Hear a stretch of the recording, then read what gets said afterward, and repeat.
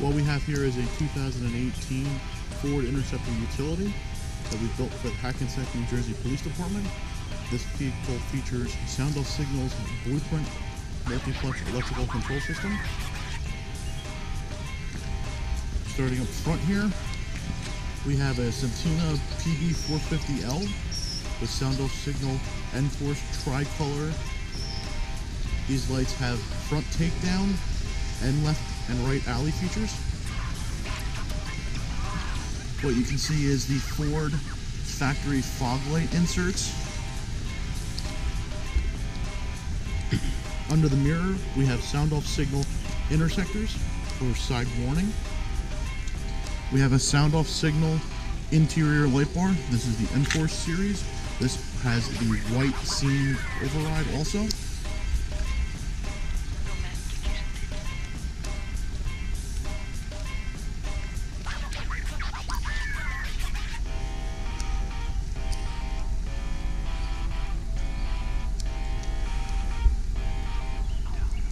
Taking a look at the back of the vehicle, we have the sound off signal interior light bar.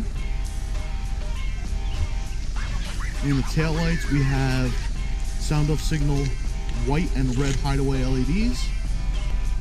On the rear plate, we have sound off signal fit lights in blue.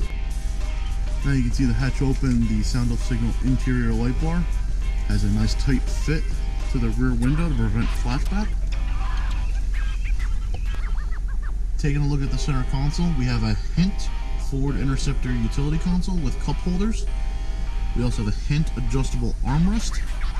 We have their customer supplied radio installed, and then we also have the blueprint control panel installed. You can also see the interior light bar has a nice fit to the glass. Also prevents flashback at nighttime and rain conditions like now. Take a look at some of the other features that we can do for added safety to the vehicle.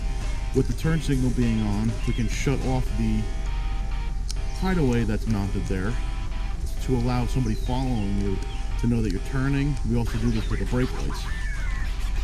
Another feature that we've added here is we shut the under mirror light off with the door being closed so that the officer is not blinded when they get out of the vehicle. And then we're closing the door, the light starts flashing again.